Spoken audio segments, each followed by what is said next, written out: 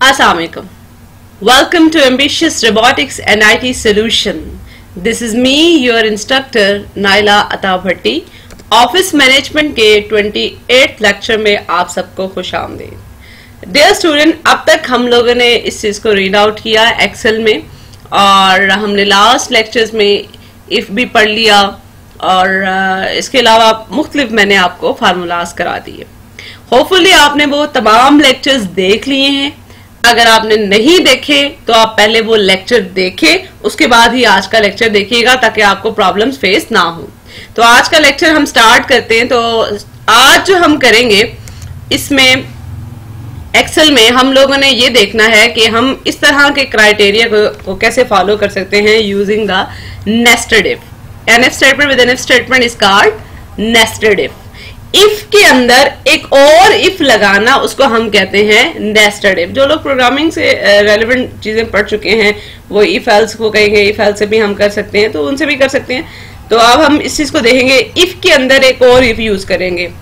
अगर आपको क्राइटेरिया कुछ इस तरह से दिया गया हो कि ये स्कोर है क्राइटेरिया है, अगर 90 से ऊपर है तो उसका ग्रेड ए होगा 80 से 89 में है तो उसका ग्रेड बी होगा 70 से 79 में है तो उसका ग्रेड सी होना चाहिए और 60 69 में है उसका ग्रेड डी होना चाहिए। अगर 60 से बिलो है तो उसका जो ग्रेड है वो क्या होना चाहिए? एफ़ होना चाहिए। एक, दो, तीन, चार और ये पाँच कंडीशन है। तो हमने इस चीज़ को इसके अंदर बनाएँगे। यहाँ आएगा यूज़र सिर्फ़ अपने स्कोर डालेगा और यहाँ उसका ग्रेड शो हो जाएगा। उसके लिए मैं एक formula लगाऊँगी। Equal if nested if use होगा। इफ़ लॉजिकल टेस्ट हम देखेंगे कि ये जो स्कोर है ग्रेटर देन इक्वल टू 90 हो अबव 90 या इक्वल टू 90 है तो उसका ग्रेड क्या होना चाहिए? ए होना चाहिए। और उसके एल्स केस के अंदर हम एक और इफ़ लगा देंगे कि अगर ये जो स्कोर है, वो ग्रेटर देन इक्वल टू आपका 80 है तो उसका ग्रेड क्या हो जाना चाहिए? बी हो जाना चाहिए। उसका एल्स एक और लगाएँगे इफ़ अगर ये test score greater than equal to 70 है तो ठीक है।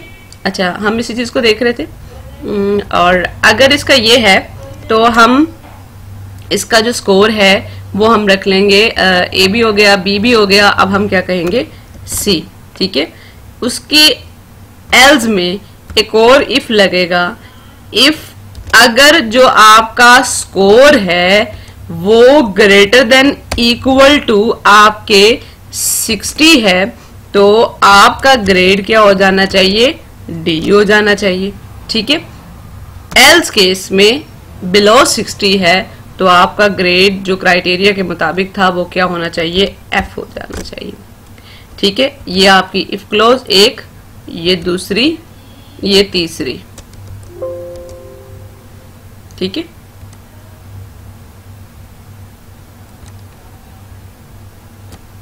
ये आपको ग्रेड दिखा रहे हैं। बिलो 60 वालों को देखें एफ़ एफ़ दिखा रहा है और अपर में आपका जो सेवन सी में दिखा रहा था, ये आपको उसके अकॉर्डिंग दिखा देगा। ठीक है? अगर आपको ये समझ नहीं आया, इसको दोबारा देखें रिवाइज करके देखें, ताकि ये आपको समझ आ जाए थोड़ा कॉम्प्लिकेटेड सा लगता है बट ये बहुत आसान है अगर आप उसको समझ लें। आज के लेक्चर के लिए इतना काफ़ी, इंशाल्लाह अगले लेक्चर मुलाकात होगी, तब तक के लिए अल्लाह हाफ़